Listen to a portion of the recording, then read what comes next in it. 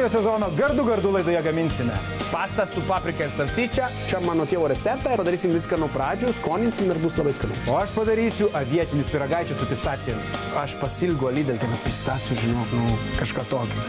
Gardu gardu. Laida šeštadienį 9 ryto per TV3.